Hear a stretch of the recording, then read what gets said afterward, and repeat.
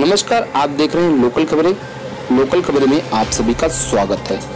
उत्तर प्रदेश के मैनपुरी ज़िले से राम किशोर वर्मा की खास खबर पर आइए एक नज़र डालते हैं।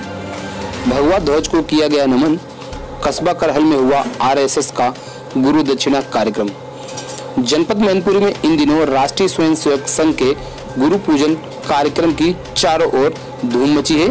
शहर से लेकर गांव-गांव तक भगवा ध्वज के आयोजन में लोग बढ़ चढ़कर प्रतिभाग कर रहे हैं। मैनपुरी, कुरावली, किसनी, बेवर भोगांव कुसमरा आदि स्थानों पर सुबह से लेकर शाम तक आरएसएस के पदाधिकारी आयोजन को सफल बनाने में एडी चोटी का ज़ोर लगाए हुए हैं। खासकर कस्बा करहल के क्षत्रिय स्वर्णकार धर्मशाला में आयोजित हुए गुरु दक्षिणा कार्यक्रम में शुभारंभ एवं प्राचार्य वी के जैन माँ भारती एवं आरएसएस संस्थापक डॉक्टर हेडगेवार बलिगराज जी के चित्र के समक्ष दीप प्रज्वलित कर फूल मालाएँ अर्पित किया। इस दौरान राष्ट्रीय स्वयंसेवक संघ के पदाधिकारी ने अपने संबोधन में कहा कि वर्ष में एक दिन ऐसा आता है जब हम अपनी आय का कुछ अंश संगठन की कार्यविधि हेतु गुरु पूजन के रूप में भगवा ध्वज के सम्मुख अर्पण करते हैं। यही अर्पण, समर्पण की भावना को प्रकट करता है। कार्यक्रम में आए राष्ट्रीय स्वयंसेवक संघ के कार्यकर्ताओं ने देशभक्ति गीत प्रस्तुत कर अमित छाप छोड़ी। कार्यक्रम में पूर्व विधायक से लेकर नगर पंचायत अध्यक्ष सहित तमाम गणमान्य लोग मौजूद रहे।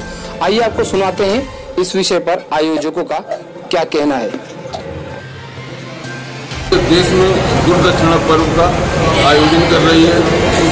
दुर्दक्षिणा के लिए हम यहाँ पहुँचे। अरे क्या संदेश देना चाह रहे हैं इस कार्यक्रम के माध्यम से? ये दुर्दक्षिणा जो है ये विभिन्न प्रांतों में आदिवासी क्षेत्रों में दबे कुचले क्षेत्रों में दलितों में जहाँ शिक्षा का अभाव है वहाँ इसको हम जो है दुर्दक्षिणा के माध्यम से निपटाना चाहते हैं। अच्छा ये देश सेवा के लिए। ये आरएसएस का उद्देश्य क्या है ये सब? देश सेवा। कार्यक्रम है जिसको पहले हम लोग गुरु दक्षिणा बोलते थे।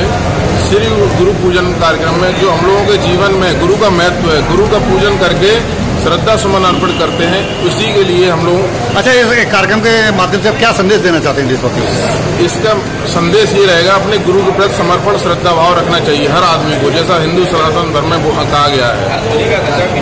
राष्ट्र के लिए काम करना राष्ट्र के लिए समर्पित